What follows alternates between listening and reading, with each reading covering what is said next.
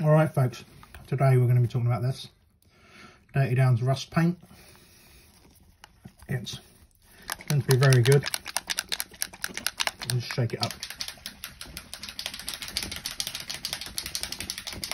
Sound effects. Let's have a little looky see. Oh, it smells like methylated spirit. So with this stuff, activates within, well, starts working between one to 10 minutes. So let's do a line. Let's do some stipple.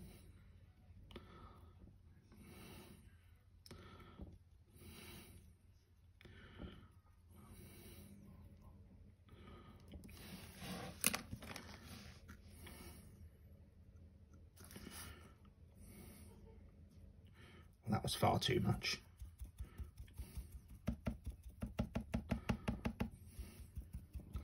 So it looks like a big old glob there, didn't I?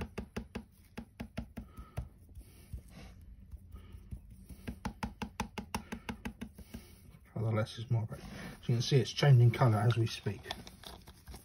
Right, let me just... Whoop.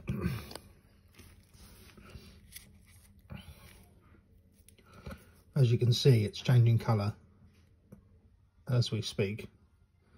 Stipple's going to look better than the line. The line's going to look a bit crap. With your brushes and stuff, best to use an old brush. It clogs up something terrible. If you get a real clogged brush, you need to use meths to clean it out. What you can do is you can also uh, sort of change the effect with water. It's water soluble though, so if you over top of water too much, you'll wipe it out. You can change the effect slightly and move it around with some water. I'm not going to because I've got no water out here at the moment. As you can see, it's changing colour already. What you can do then, once you've got one layer that started to change colour, so for example that line, let's do a bit of stippling over the top.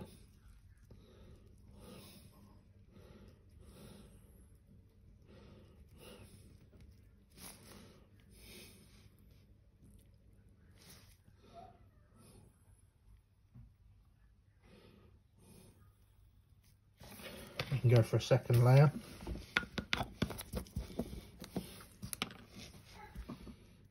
You can see different applications make different shades. You can see the sponge. It's totally different to it does with the brush with the stipple. So I've gone for two coats on this first piece here, so it's going to darken up somewhat.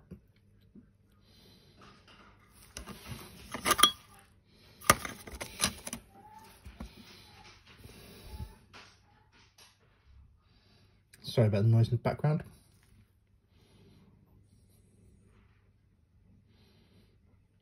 Pretty impressed with that, to be honest.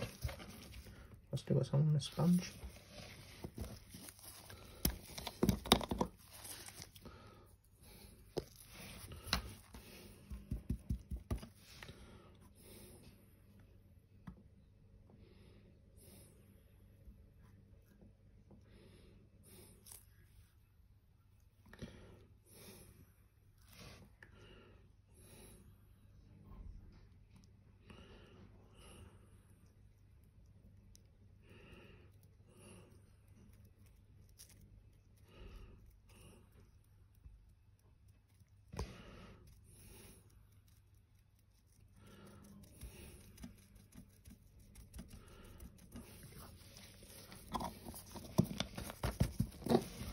Sorry about the shaky camera. Keep on knocking it with the brush.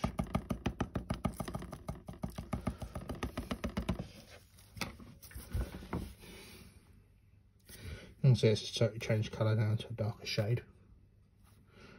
We've got the single sponge stipple, uh, single brush stipple, sorry, and we've got the sponge stipple here. Just slowly changing colour. Like I say, once it flashes over, you're looking between one and 10 minutes for it to be fully dry, which I think is pretty quick. I think it even says that on there, does it? Stick coat, smooth spray with damp or wet cotton bud. So you can change the effect, make it how you want. Even if you use like a, a fat, wide brush, you push it into corners and stuff like that. Sorry about the shadow in the background, it's my daughter playing up.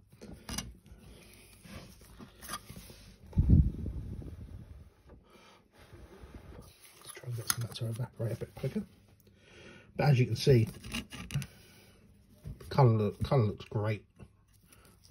Good amount of colour, especially here. Here with the two coats on. Definitely, definitely a good little product. Can't honestly remember off the top of my head where I got it from. Uh, but I'll have a hunt, I'll hunt for my emails and I'll, I've had it since before Christmas. There's only, only chance I've got to use it now. Have a look from my emails, find a link to where you can get it from. Um, there are UK suppliers, obviously.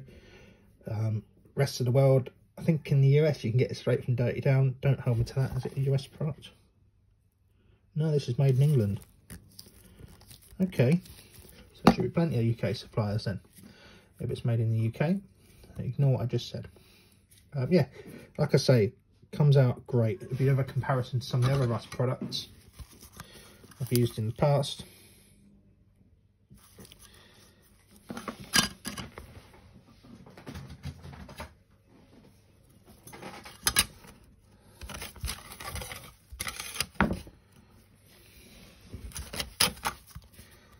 you can see the shades of the of the rust. So I've got obviously